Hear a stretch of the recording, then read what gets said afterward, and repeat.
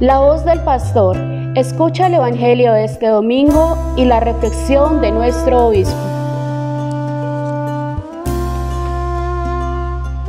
Muy queridos hermanos, hoy ya estamos en el tercer domingo del tiempo ordinario, una vez que hemos celebrado con gran alegría todo el misterio del nacimiento de Jesús, terminando con la manifestación de Jesús a toda la humanidad a través de ese gran misterio de la Epifanía y luego el bautismo de Jesús, ahora recomenzamos nuevamente este tiempo ordinario en donde vamos a contemplar lo ordinario de la vida de Jesús.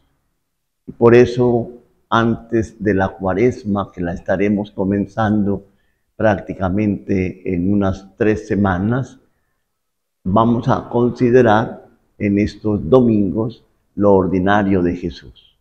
Comparto con ustedes la lectura del Evangelio de este domingo, tomado de San Marcos en el capítulo primero, versículos 14 al 40.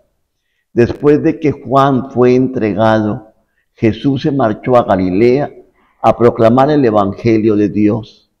Decía, se ha cumplido el tiempo y está cerca el reino de Dios, conviértanse y crean en el Evangelio.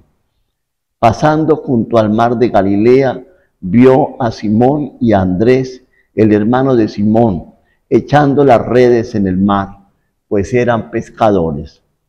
Jesús les dijo, vengan en pos de mí y los haré pescadores de hombres. Inmediatamente dejaron las redes y lo siguieron. Un poco más adelante vio a Santiago, el de Zebedeo, y a su hermano Juan, que estaban en la barca restaurando las redes.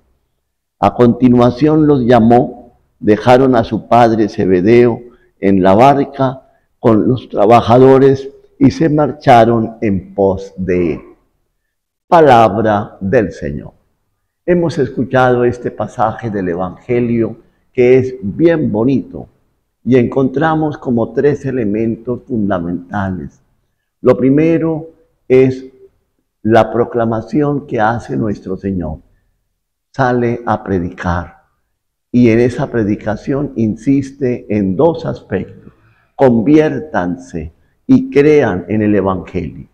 La conversión es esa actitud personal que nos lleva a cada uno de nosotros a cambiar a cambiar actitudes negativas por actitudes positivas. Conviértanse, es decir, dejemos el pecado, dejemos el egoísmo, dejemos la injusticia, dejemos la mentira y convirtámonos, convertirnos a la paz, a la reconciliación, a la misericordia, a la justicia.